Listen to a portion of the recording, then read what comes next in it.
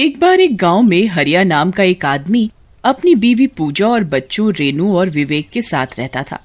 रेनू और विवेक बहुत शरारती थे। वो अक्सर स्कूल या अपने मोहल्ले में शैतानियाँ करते रहते थे। एक दिन जब हरिया घर में होता है तभी रेनू और विवेक स्कूल से आते हैं।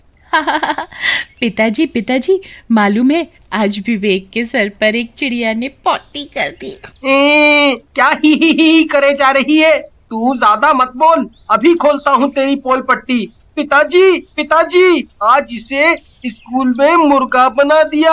अपनी मैडम की नकल कर रही थी। वो दोनों ऐसे लड़ रहे होते हैं कि तभी हरिया उन्हें डांटते हुए बोलता है। तुम दोनों चुप करो। पढ़ना बढ़ना नहीं है। जब देखो लड़ते रहते हो। तुम्हारी भाषा देखी है। कितनी खराब हो गई है। हम्म। ये सब छोड़ो जी इतने दिन से कहे जा रही हूँ एक नया कूलर ले आओ। लिया तो जाता नहीं। वो शर्मा है ना नया एसी लाया है और तुम एक कूलर भी नहीं खरीदते। हम्म। क्या बात कर रही हो प्रियतम? गर्मी है नहीं इसीलिए नहीं लाता कूलर वरना तुम कहो और कूलर ना आए। ऐसा कैसे हो सकता है?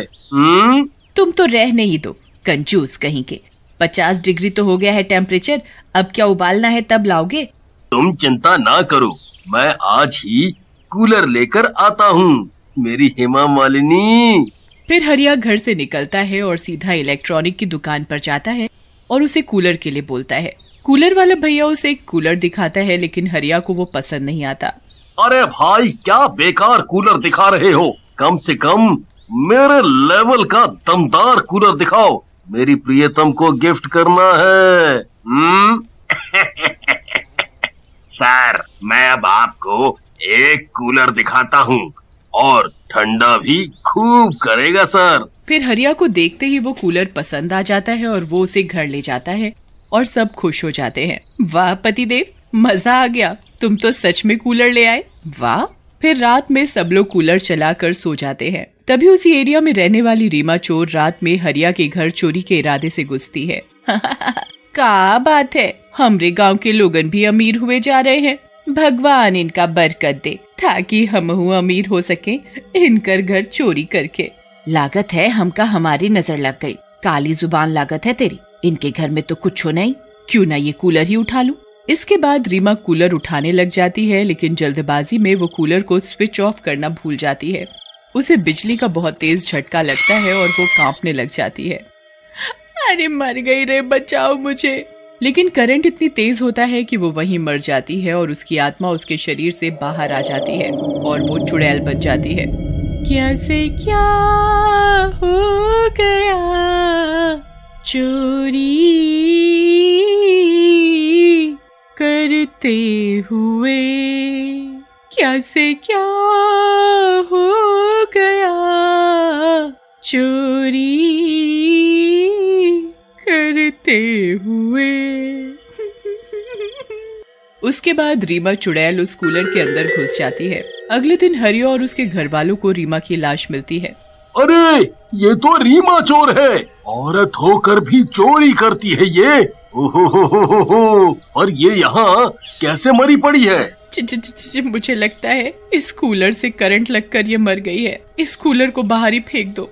मनहूस हो चुका है अब ये। फिर हरिया गाँव के और लोगों को बुला लेता है और फिर गाँव वाले मिलकर रीमा का अंतिम संस्कार कर देते हैं। और हरिया भी कूलर को गाँव के बाहर फेंक आता है। रात होते ही चुड़ैल बाहर आ जाती है और शिकार की तलाश में घूमने लगती है। तभी वहाँ एक शराबी आ जाता है। माफ़ करना यारों, मैं नशे में नहीं हूँ। माफ़ करना यारों, मैं नशे में नहीं हूँ। मैं नशे में नहीं हूँ। तभी उसकी नज़र कूलर पर पड़ती है और वो कूलर उठा लेता है और अपने घर लेकर के चला जाता है और घर पर जाकर कूलर चला देता है। वाह वाह वाह। लाइफ हो तो अपन के जैसी। मस्त दारू फिर फ्री की ठंडी हवा। आज तो लग रहा है अपनी भगवान है। तभी चलते कूलर में से चुड़ैल बाहर आ जाती है। मज़ा आ गया ठंडी ठंडी हवा में शिकार करूँगी।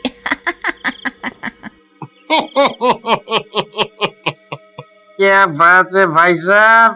क्या बात है? क्या हँसते हो आप? हम्म? मज़ा आ गया। और क्या रोबीली आवाज़ है आपकी? वाह वाह भाई साहब वाह। बिल्कुल बिग बॉस के जैसी लगती है, है? वाह भाई साहब वाह। मैं तुझे भाई साहब लगती हूँ। और बिग बॉस के जैसी आवाज़ बता रहा है, रुक, अभी मज़ा चखाती हूँ तुझे। ऐसा कहकर चुड़ैल शराबी को मार डालती है और उसका मांस खाने लगती है। तभी उसकी नज़र पास में पड़ी, एक शराब की बोतल पर पड़ती है और वो उस शराब की बोतल को पानी समझकर पी जाती है। अरे ये क्या है? मैंने ये क्या पी लिया? मुझे तो चक्कर आ रहे हैं और दुनिया भी गोल गोल घूम रही है। मज़ा आ गया। अगले दिन गाँव के लोगों को शराबी के मरने का पता चलता है और वो लोग उसके घर पर इकट्ठे हो जाते हैं। ओहो! लगत है कोनो जंगली जानवर गाँव में घुस आया होगा। ई के घर में। देखो तो बेचारे को कितनी बुरी तरह मारा है और खा भी गया है। चला भैया पी के लिए तो अच्छा ही हुआ। रोज दारू पी के यहाँ वहाँ नाले में ही गिरता रहता था और शराब की बदबू तो इतनी मारता था कि कुछ कहो ना। हम्म, तभी गाँव वालों की नज़र वहाँ पड़े कूलर पर पड़ती है। भैया ये मरने के बाद कूलर का क्या करेगा? न इसके कोई आगे है न पीछे। हम कहा थे कि इस कूलर को क्यों ना गाँव की पंचायत में रख दें। ठंडक तो रहेगी कम से कम है? गाँव वालों को लालू की बात अच्छी लगती है और वे शराबी का अंतिम संस्कार करके कूलर गाँव के पंचायत भवन में रख देते हैं। उसी रात जब सरपंच वहाँ बैठकर काम कर रहा होता है तभी कूलर में कुछ आवाज़ होती है। अरे ये क्या हुआ? अभी तो कूलर इतना अच्छा चल रहा था। एकदम से इसमें से कैसी आवाज़ें आने लगी? हम्म? सरपंच उठता है और कूलर की तरफ़ जाता है तभी कूलर में से चुड़ैल बाहर आ जाती है।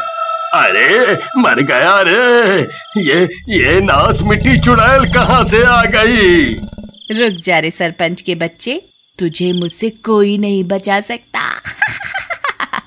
मेरा शिकार है तू। तभी सरपंच को ऐसे भागते देख लालू और कालू देख लेते हैं। अरे सरपंच जी ऐसे कहो, भाग रहे हो लुंगी उठा के? आपके पीछे क्या फौजी पड़ गई है, हैं? अरे नास मिटो, भाग लो तुम भी यहाँ से यहाँ तो तीन शिकार हो गए एक तो पकड़ में आ ही जाएगा चुड़ैल को देख लालू और कालू भी भागने लगते हैं सही कहे सरपंच भैया ये तो मौत है हम तीनों की। अरे भागो अरे भागो अपनी अपनी जान बचा कर भागो अरे भागो। तीनों भागते भागते गाँव के मंदिर के पास पहुँच जाते हैं। लालू ज़ोर से पुजारी जी को आवाज़ लगाता है।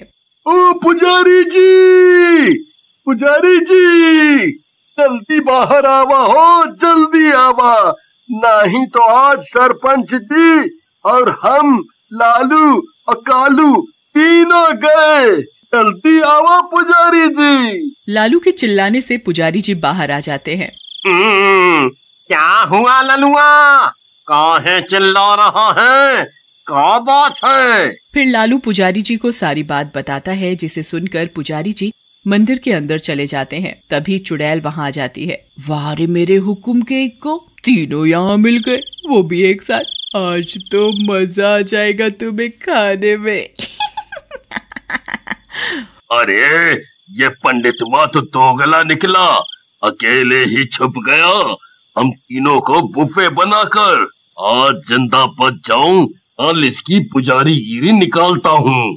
अरे काहे पर्वत सर पर उठा रहे हो? आप ही के लिए मंदिर में गए थे। तभी पुजारी को देखकर चुड़ैल गुस्से में आ जाती है। अच्छा तू बचाएगा मेरे शिकारों को मुझसे। आज पहले तुझे मारती हूँ, फिर इन तीनों को। लेकिन चुड़ैल जैसे ही पुजारी जी की तरफ़ बढ़ती है, पुजारी जी भगवान शिव जी की मूर्ति उसके आगे कर देते हैं। मूर्ति में से एक तेज प्रकाश निकलता है और चुड़ैल पर पड़ता है और चुड़ैल वहीं भस्म हो जाती है।